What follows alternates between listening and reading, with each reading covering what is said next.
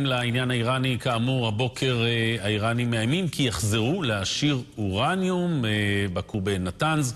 אנחנו פונים לאלוף מילואים יוסי קופר וסר, לשעבר מנכ"ל המשרד לעניינים אסטרטגיים, גם היה ראש חטיבת המחקר באמ"ן.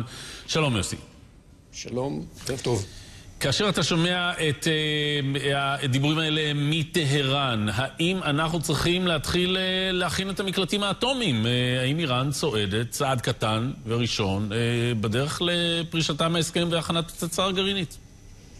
צריך להכין את המקלטים, אבל איראן צועדת לקראת התמודדות עם המציאות החדשה שהולכת ונוצרת, כאשר היא מבינה שההסכם הזה, שהמתנה הגדולה שנתנו לה שש המדינות שאיתן הגיעה להסכם הזה, המתנה הגדולה הזו נלקחת מאיתה והיא מרגישה שהיא צריכה לנסות ולהציל את ההסכם כמידת יכולתה.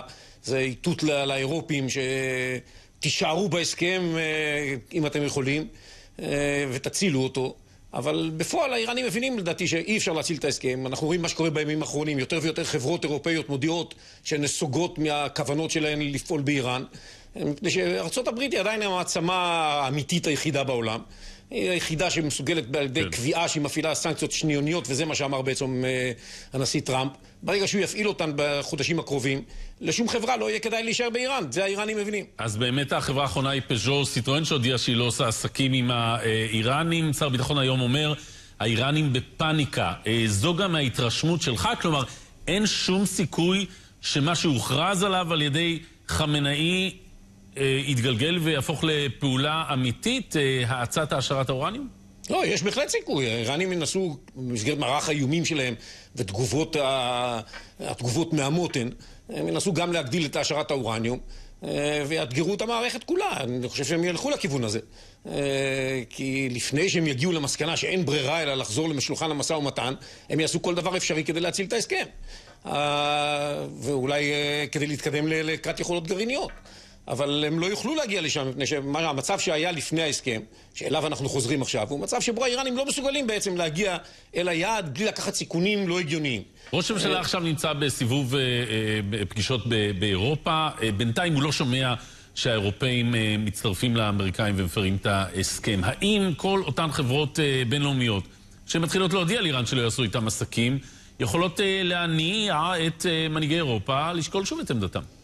מנהיגי אירופה רוצים לשים דגש על העניין של שינוי ההסכם בכיוון של, רק בכיוון של הוספת איזשהו מרכיב שיעסוק בטילים הבליסטיים ארוכי הטווח. גם לעניין הזה התייחס חמנאי ואמר בשום פנים ואופן זהו חלום רע שלא יתגשם והאירופאים צריכים להבין שזה לא יקרה. האיראנים מציגים עמדת בונקר כמו שאומרים, הם לא מוכנים לזוז בשום, בשום מימד כי תזוזה ולו קלה ביותר משמעותה שבעצם ההסכם הקודם לא היה מספיק טוב ואיך הם יכולים להודות בכך, מבחינת, לא היה מספיק טוב מבחינת המערב. הם לא יכולים להודות בכך, ולכן הם ימשיכו בינתיים לעמוד איתן, ו... ואני לא חושב שמדינות אירופה, מנהיגי אירופה, כתוצאה מהלחץ של, של טראמפ ושל נתניהו, ישנו את עמדתם המוצהרת גם כן. אבל המציאות היא החשובה, לא העמדה האירופית. אוקיי. ולמעשה מה שקורה כרגע מוכיח עד כמה המנהיגות האירופית היא חסרת משמעות. כי החברות האירופיות נוקטות את הצעדים הטובים מבחינתם, בלי לחכות למנהיגות האירופית. בלי לחכות למנהיגות. אני רוצה לשאול אותך, אתה יודע, בשבוע האחרון דיברנו הרבה על מה שקרה שם בין ראש הממשלה למוסד והגופים האלה. כן האזין, לא האזין, אבל אנחנו יודעים שהתקופה הייתה התקופה שבה שקלו ברצינות פעולה צבאית באיראן. האם אנחנו מתקרבים לנקודה שבה אירופה נאלצת לפרוש מן ההסכם, האיראנים מתחילים לנוע לעבר פצצה, ואנחנו צריכים להחליט האם אנחנו פועלים באיראן? המציאות השתנתה לחלוטין. המציאות שבה כל האירועים האלה קרו, ארצות הברית הייתה זו שניסתה להניא את ישראל מלפעול נגד איראן. וחלק ניכר מהפעולות שישראל נקטה, גם פרדו הסביר, שגם בראייתו, אפשרות אחת, בצד האפשרות שמישהו באמת התכוון לפעול, האפשרות השנייה הייתה שמישהו מנסה לאותת לאירופאים, סליחה, לאותת לאמריקאים, שאם הם המשיכו במדיניותם הרופסת, אז לישראל לא תהיה ברירה אלא לפעול. אתה לא רואה שישראל תצטרך להפעיל את האופציה הצבאית בכל מקרה לא לבד, היא לא תהיה לבד בעניין הזה, או בכלל האופציה הצבאית לא תשלף בגלל שהכלכלה תעשה את שלה?